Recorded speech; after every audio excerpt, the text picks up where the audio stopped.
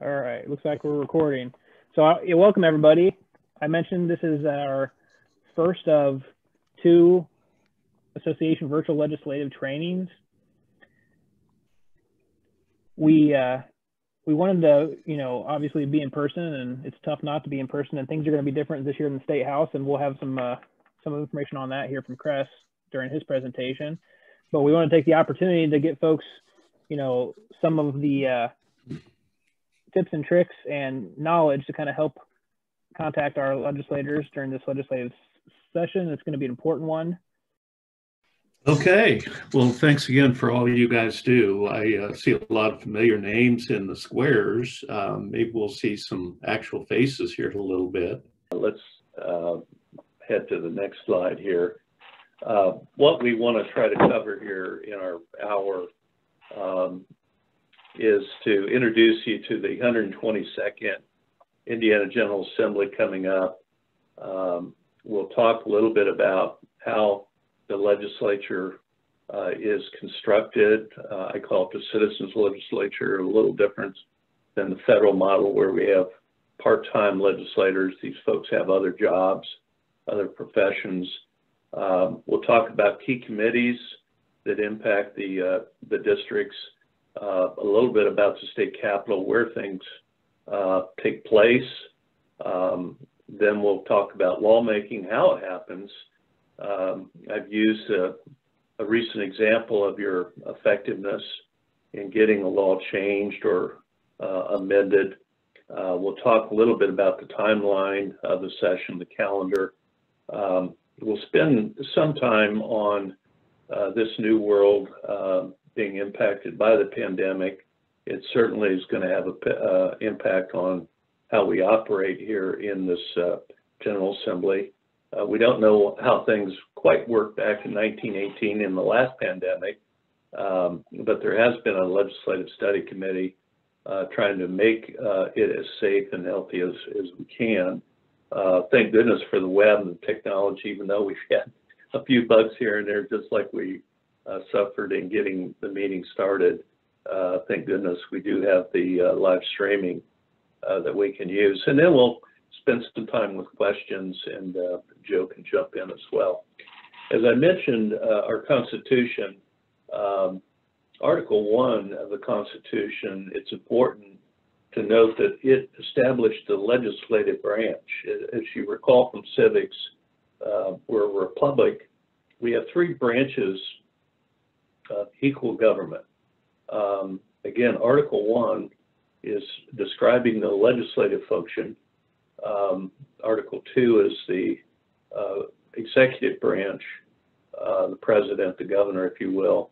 And then the third is the uh, judicial. Uh, we use that federal model here in Indiana. Just a refresher on the, the uh, General Assembly itself, you'll see the slide here. Uh, your House of Representatives, the People's House, if you will, uh, is made up of 100 members. Uh, these are two-year terms. We've just been through the cycle. What's important about uh, the House, uh, particularly in a budget session, is okay. all spending uh, bill comes through the House of Representatives. Okay, uh, the 122nd Indiana General Assembly, uh, the 100 members, it's a two-year term. Again, the important thing for us in the budget cycle is all the spending uh, ideas that are originated in the House. Uh, Ways and Means, we'll talk about uh, key committee here in a little bit. The political makeup, uh, the Republicans continue to control in a supermajority both the House and the Senate. In the recent election, the Democrats actually lost seats in the House, uh, up to five seats flipped. So you see the numbers there, 71 Republicans, 29 Democrats. Uh, we've got a fairly new speaker. He took over at the end of the last session. Uh, Representative Brian Bosma retired. Uh, Representative Todd Huston is our new speaker. Uh, incidentally, he's a uh, he's the uh, rep for Joe. So Fishers, Indiana, it's one of the boom areas of Indiana. Uh, I think he's actually a former neighbor of yours, right, Joe? you see the Senate now, um, 50 members, big difference. It's a four-year term. Um, 25 run uh, in a split cycle. Um, the political makeup, uh, 39 Republicans, 11 Democrats. Again, uh, that's a supermajority. What that means is really they don't need Democrats to conduct business. Uh, you only need uh, two thirds to um, start the session uh, with a quorum. Uh, interesting enough, the Democrats did pick up one seat. That was here in Marion County. Uh, the incumbent John Ruckelshaus lost that seat.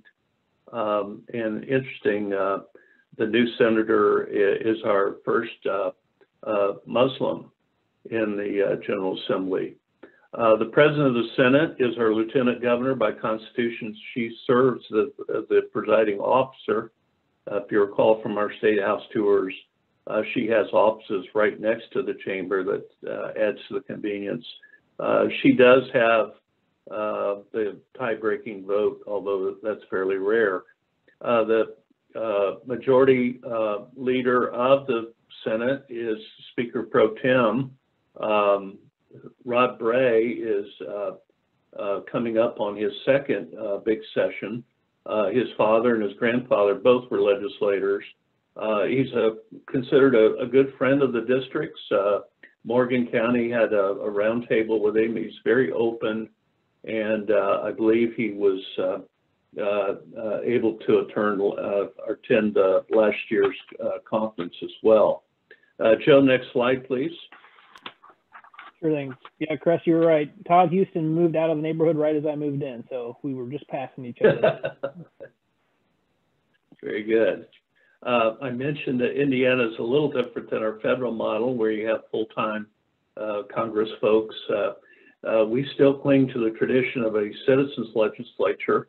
Uh, these are part-time folks. Um, many are lawyers. Um, it used to be in the old days, many were farmers. Uh, but as society has changed, that's obviously different. We have teachers, insurance agents, realtors, a wide variety of uh, professions, and that brings a unique dynamic to the process, uh, as we will talk about a little bit earlier. Um, this is considered a long session on odd numbers year. odd numbered years, we uh, spend the, the, the, bulk of the session, the 60 working days, uh, uh, on uh, the budget. Um, one interesting other important task um, that we face uh, is every 10 years we have a census. And the state legislatures around the country are also uh, charged with redrawing uh, the district lines. Um, and obviously, again, with a supermajority of Republicans, uh, they get to draw the lines. So it's an important uh, function that's added uh, to the uh, uh, long session this year. Um, the short session is in even numbered years.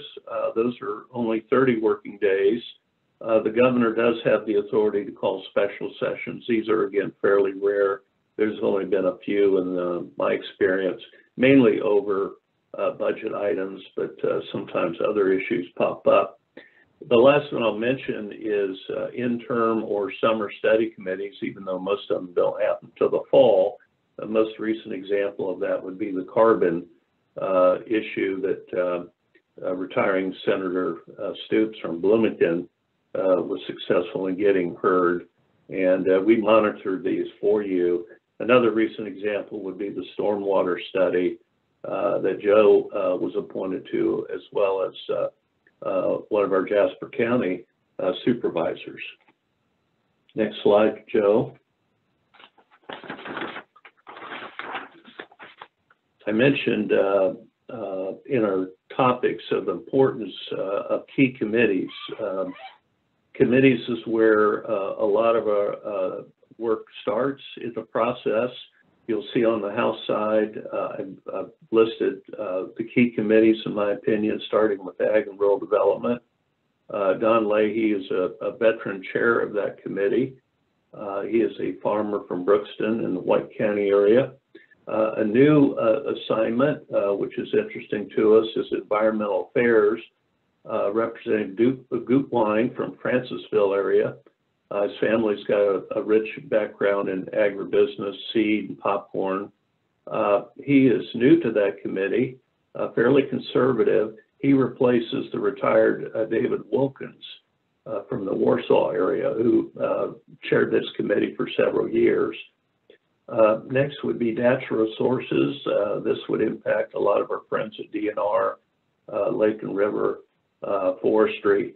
Uh, Sean Eberhart has chaired that committee for the past few sessions. Uh, he is a small business owner from the Shelbyville area. I mentioned public policy here because this sometimes comes into play. Um, one of the proposals that we'll be talking about in the session is proposed cigarette tax. Uh, public policy uh, normally handles what I call the sin taxes, uh, gaming, alcohol, tobacco. Uh, recently, it's been hemp and marijuana. Uh, public policy is someone uh, that we need to watch. And last but not least is the importance of the Ways and Means Committee. Speaker Todd Huston chaired this committee in the last cycle um, due to the motorcycle accident that Dr. Brown had up in Michigan. Dr. Brown is a retired uh, emergency room physician from the Crawfordsville area. He is well enough now to take that chair back. And um, he is a very important key figure in how the budget is crafted. The governor does submit his budget, but uh, normally the legislative branch basically says, okay, we'll use it as guidance but we're going to start our own process. Now, switching over to the Senate, um, we have an interesting uh, relationship there between the Ag Committee and the Natural Resource Committee, uh, chaired by Jean Leising and Susan Glick, um, both veterans of the process. They actually roomed together during the session, and these committees are nearly, if if not identical, in um, in their membership. Um, the Environmental Affairs Committee uh, is again very important, mainly for forestry. Um, and uh, we know that there'll be some uh, discussions about uh, maybe a carbon uh, public policy approach. And uh, we hear that the chair of that committee, Mark Messmer, will actually be authoring that bill. Um, most of it uh, will be coming from recommendations, we think, from the Summer Study Committee. The last two are very uh, key as the budget uh, process uh, switches from the House to the Senate. Uh, we have two players there, uh, appropriations, which is chaired by Senator Ryan Mishler. He's a funeral home owner from Bremen, Indiana. We have a good relationship with him through our districts up there um, mainly through Jamie Scott, our legislative committee chair, knows him very personally.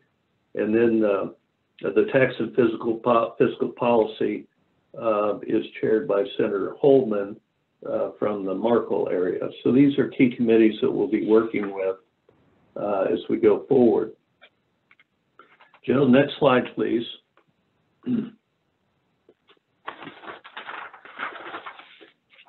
Where will the process be? It is the Indiana Capitol. Now, the one picture on the left is what I call the government campus, um, and we'll talk a little bit more about the campus as we uh, adjust to uh, changes uh, dictated by the Summer Study Committee dealing with COVID-19, how we're going to operate the session. Um, and then the picture on the right is uh, what's affectionately called by lobbyists and legislators and visitors as the halls. It's a beautiful building. I know many of you have been there. Um, I don't know that we'll be able to have a lot of folks in the building due to COVID, um, but um, it, it is a beautiful building and it is the people's house. Uh, the next slide, Joe. Do you recognize these folks? I hope so uh, we've really worked hard and uh, very thankful for all the districts that have uh, devoted some days to uh, come and visit and influence the process. Uh, The, the uh, gentleman in the middle in the suit is a retired legislator from the Jay County, Adams County area, Representative Beumer. Um, and I believe these are district folks uh, from Jay County that were very helpful in that process uh, that we're going to go through as an example of how a bill becomes a law. Next slide, please.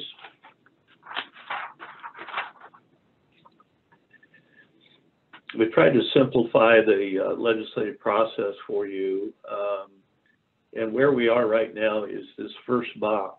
Uh, proposals, ideas are flooding into uh, the State House. Uh, legislators are uh, instructing uh, a, a nonpartisan agency that does the work in drafting legislation. It's called the Legislative Services Agency, uh, mainly lawyers. They take ideas that are flowing into legislators uh, and start putting them on paper. Um, what happens then with those bill drafts is they'll start accumulating into uh, bill lists that uh, legislators and leaders of the uh, Senate and the House will start assigning uh, uh, first readings, which leads then to committee assignments in that third box. Um, the committees then uh, will uh, digest, uh, debate, have hearings, take testimony on the bill itself. And if it meets their approval and passage, it then goes back to the floor of the respective chamber for what's called a second reading. Second readings are available and open to amendments or changes. Um, then it uh, takes its form for a floor vote and gets then uh, moved into the third reading box, further debate. Uh, very rarely does amendments uh, take place at this stage, uh, but a final vote then is taken by the full chamber. If it passes that uh, hurdle, it then is assigned into the opposite chamber. Uh, Senate bills assigned to the House, House bills assigned to the Senate. It goes through the identical same process. Leadership uh, will assign it to committees. Committees will have hearings, testimony, um, votes. It then goes back to the chamber floor for any possible amendments, a vote uh, to a third reading for final debates. If in fact the version is different between the chambers, it will go then into what's called a conference committee. Leadership appoints two from each chamber to hash it out in an open, transparent process uh, that others can um, uh, view and have input into. If in fact there's no differences, they can uh, go ahead and, and, consent and the bill is sent to the governor for uh, action. If, if, there is a, a dissent, they can hammer out a compromise and issue then a final agreement uh, for passage. It goes to the governor. The governor has actually three uh, options. He can sign the bill, making it effective. He can sit on it for a number of days, and then it passes, or he can veto it. So that is the uh, quick and dirty uh, process that has to happen uh, in 60 working days. Next slide, Joe. Yes, before we go on, uh, can you maybe speak to how uh, you kind of talked how the bill go through the process, where the bill might die along that process, or the most common places that bills quote unquote die? Uh, sure. Um, go, goes back to the power of the committee chair. The committee chair, uh, with influence from uh, his caucus and leadership, uh, has really a lot of power to whether a bill uh, advances. That's really the first big step is willing uh, the willingness of the committee chair to actually hear the bill. Um, it can also then uh, get stopped in um, second reading. Um, it can obviously fail uh, on a third reading uh, vote of the majority to kill the bill. Um, there's a, a variety of other uh, processes that keeps a bill alive. Uh, the converse of killing a bill would be uh, resurrecting it in uh, uh, in the form of an amendment into a, a bill that's still alive. So the old saying is, you never say never. Uh, so these ideas can float about uh, and re-enter the process at any point during any of these boxes. Um, but I think uh, it's important to know that again, leaders and chairs really do have a lot of power over the fate uh, of the bill itself. Does that make sense? Yeah, Cress, you mentioned uh, resurrecting it in another bill. So how do you get it into another bill? Do you have to go to the author of that bill? Uh, protocol would say you go to the author. Uh, again, these uh, ideas are talked about within closed doors of the caucus itself. Uh, colleagues can approach another colleague and say, listen, um, due to uh, some other problems, uh, my bill did not get heard. would you be available to consider a, a, floor amendment, a second reading amendment to put the idea back in?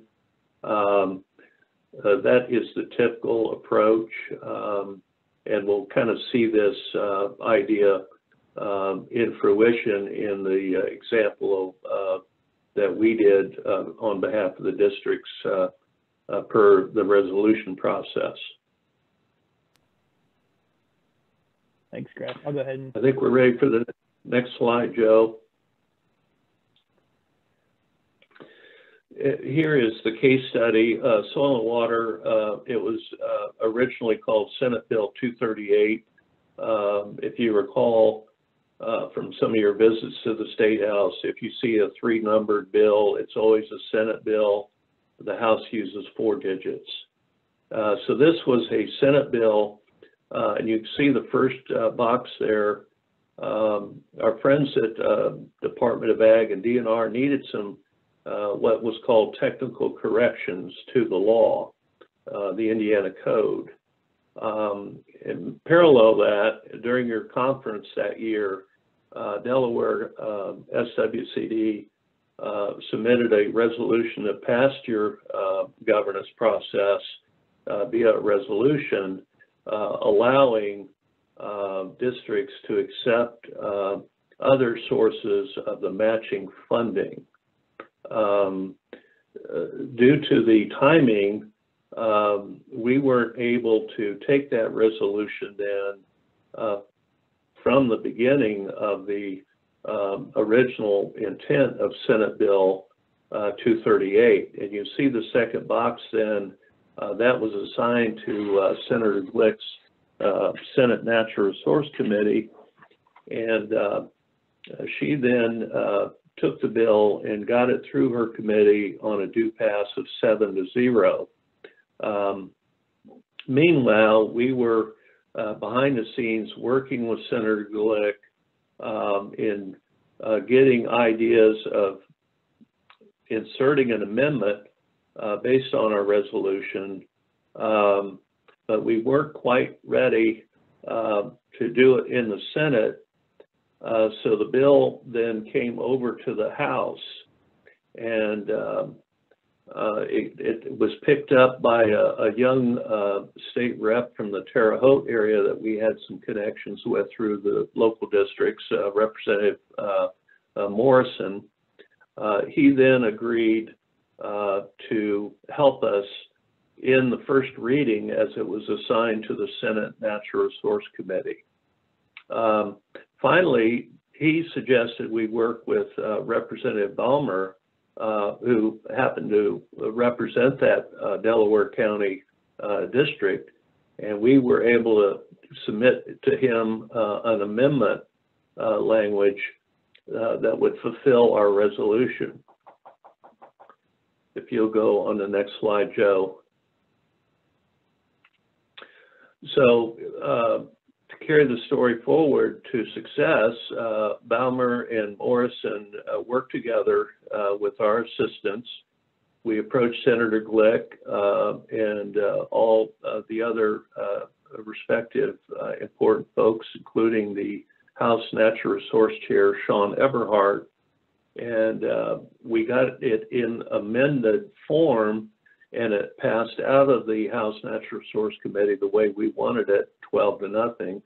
It then moved through the process in a very orderly and progressive fashion and actually ended up um, being signed by the governor. So uh, we're not always uh, batting a thousand, but uh, uh that's um, a success story um, for the Soil and Water District uh, resolution and governance and uh, progress report. I don't think, do we have any questions about that, Joe?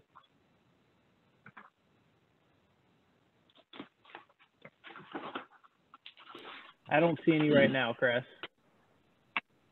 Okay, well, let's uh, go to the next slide here. Um, these are the key deadlines, and again, you'll see that uh, I've marked them unofficial. Um, due to COVID, uh, the process has been slowed down quite a bit because there's been very little face-to-face -face meetings among the legislators and leadership. But typically, this is what a long session uh, calendar would look like. I do know that they have announced that the session will begin on January 4th. That's a traditional uh, first Tuesday start date. Um, typically, uh, we have until the middle of January, both in the House and Senate, to actually file bills.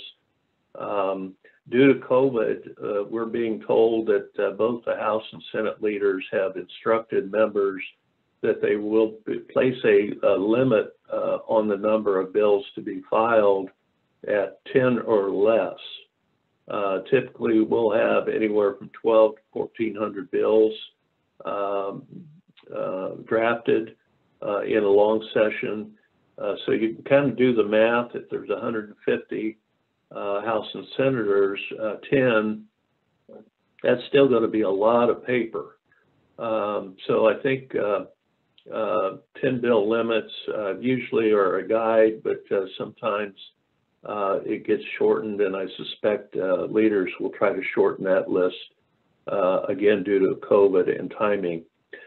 third reading, these are important dates. If the bill is not heard and through that first half of the process, by typically the end of February, um, they die.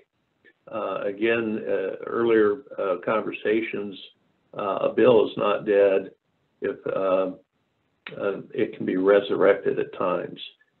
again, we go through that same second chamber process, so that next big important deadline traditionally is mid-April to complete the both House and Senate passage. Um, and then it goes to conference. Uh, conference committees usually take a week and the, the Constitution calls for what's called the Latin term sine die, or the end of the session is the end of April. Next slide, please.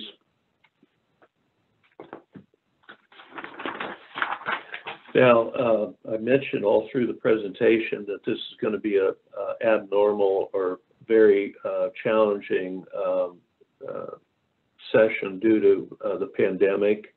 Uh, there has been a joint House uh, summer study group called the Legislative Continuity Committee to explore how they're going to operate. So far, we know in detail that the House is going to move their operation over to the Government Center South. That is the newest building on the campus. Uh, it's where we typically have our lunch during the uh, uh, State House visits, but um, uh, it's a massive space. Um, it's got uh, plenty of uh, meeting rooms, and uh, that's where they're going to be both conducting floor acti act activities and, and committees. Uh, the Senate has chosen to stay in the uh, actual State House. They've uh, commandeered the viewing gallery to get social distancing for the 50 senators, and they will be utilizing both the House and Senate committee hearing rooms within the building itself. Um, they've emphasized safety and health. Um, the uh, leadership has again asked uh, members to limit bills. Um, as many of you know, a lot of the time taken on the floor is to honor folks back home, uh, high school champions, uh, uh, resolutions they're called. Um, I suspect leaders have asked members to really restrict, uh, again due to COVID, uh, the number of resolutions um, that uh, will take time on the floor. Um, the remote testimony and schedules will impact us as we try to comment uh, and give testimony on bills.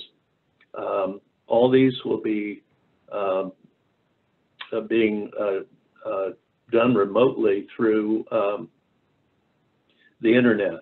Um, the State House and the Government Center uh, both uh, have supposedly the latest technology. We've had the web for the last five sessions, um, but it is going to be a learning process just like sessions we're having right now. Um, the biggest challenge I think we'll have is uh, this uh, uh, government center south, where the House will convene, and the State House itself will be uh, severely restricted uh, for events and group visits. Um, we don't know all the details of what those restrictions might be, what the numbers are allowed, um, but we'll be getting that and sharing that with you. Uh, there's quite a bit of debate about masks and social distancing requirements. Uh, the governor still has a mask uh, uh recommendation, but again, the separation of powers, uh, the legislative branch has said we're going to do our own thing. Now, there was only a, a handful of legislators that didn't wear a mask during the so-called organizational day that took place right before Thanksgiving but um, there's quite a bit of debate about um, masks and social distancing and how that's going to work. The State House and the Government Center will have plenty of cleaning protocols, and there'll be um, many, many hand sanitizing uh, uh, stations throughout the buildings. Next slide, please. So having said all that, um, we wanted to uh, emphasize that um, we're going to be working hard to keep um, as much transparency and communications back to the districts as we can.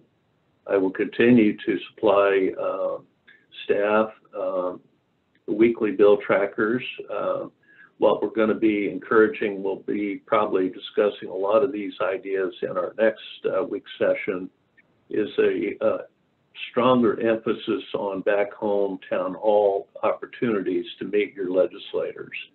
Uh, many of them have weekly back home. Uh, typically, the schedule includes taking the day to go back to their districts on Fridays. Many of them have coffee shops and whatnot meetings on Saturdays uh, back in the district. So we need to really emphasize taking advantage of those opportunities.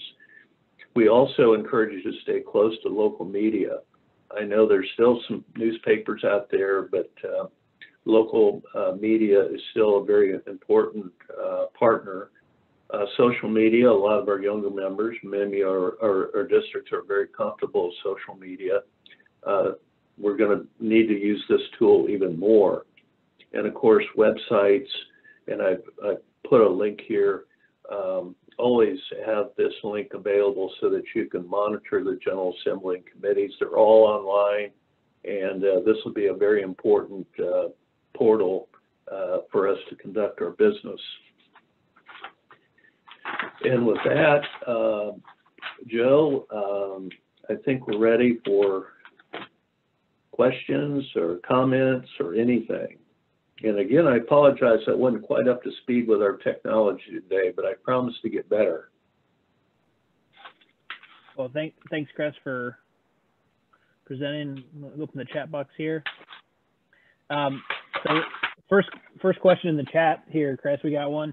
Um, how can we find out about town hall events in our area? Um, it, and here it says it always seems that any information received about upcoming events are in the newspaper the day of, which is kind of tricky when they're most of them are like evenings outside of work. You know, how how can they find out about them in advance? I'm gonna I'm gonna stop sharing my screen well, uh, and bring everybody up here. Sorry, real quick, Cress, and if people want to turn on the video. Okay. But um, yeah, I'll, but yeah, go ahead, Cress. Uh, a great question. Um, it's kind of all of the above, but um, what we're wanting to encourage, and again, we'll we'll visit more in detail in next week's session, um, is uh, heighten our awareness uh, and connectivity to the respective members. Uh, many of them, if not all of them, have their own websites now. Uh, many of them have um, great young staff members that post calendars, and we'll uh, be working on um, um, those kind of connections more and more back to you in real time. Um, there is a mass, master calendar uh, posted by legislative services, um, but we're still not sure how that's going to operate. So um, I guess uh, we'll have to work a little harder to get you connected, but we'll commit to do that in these strange times. Cress, one thing I wanted to mention in terms of communication with with COVID, obviously large group settings is discouraged. So I wanted to mention, and we'll probably talk about it next Wednesday as well. But talking to legislators over things like Zoom is something that's been happening more often. I participated over the summer in a, in a roundtable with three legislators on Zoom, and it's interesting with a small group on Zoom or another kind of video chat. It's it's not as weird as you would think it is. Still not doesn't doesn't um, replace the in person so one of the things that we are going to look at, and I've talked already with Cress about this, is maybe we can try to hook districts up with their legislator over like a Zoom chat like this. The other thing, Cress, you mentioned the kind of coffee shop type chats that, you know, it's also acceptable to try to reach out to your legislator and see if you can meet with them one-on-one, invite them maybe to your, to your farm or, or, you know, something like that. Um, and so I think, I guess in my mind, I, I see those maybe one-on-one meetings more important this year, as well as maybe just phone calls?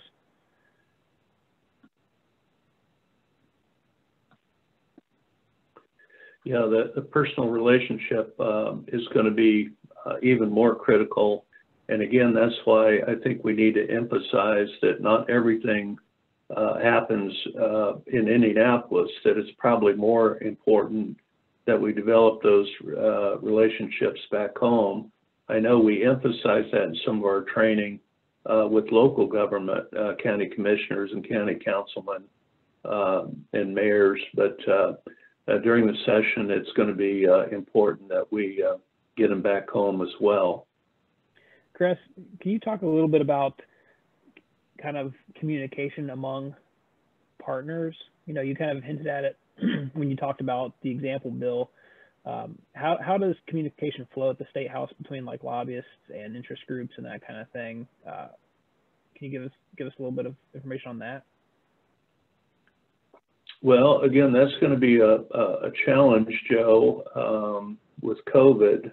Um, is um, I'm probably old school, but I still believe that showing up every day and having face-to-face contact with colleagues is still an important way to get things done.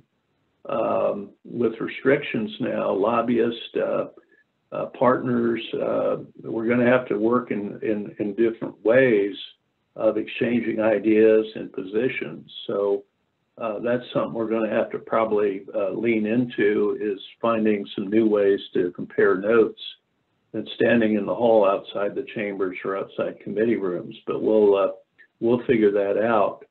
Um, uh, a lot of Zoom calls. I know Farm Bureau. I've been on uh, several of their Tuesday at noon. we may, um, Joe and Amy, need to be doing some of those ourselves as bills uh, become uh, posted, I know we'll have several um, that uh, impact the, the districts and we'll, we'll be on top of those, but uh, we're just going to have to work in some of these new ways. Well, I don't see any more questions right now, Cress.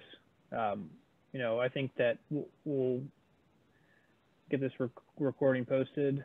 And uh, I guess the one thing I would say to folks on, on here too as Cress, you send out your your um, update every week, but folks can reach out to you about questions too. And I think that's I tend to get some questions during the session, but you know, feel free to reach out to Cress too to clarify some things, and we'll, we'll work hand in hand to to help you understand what's going on.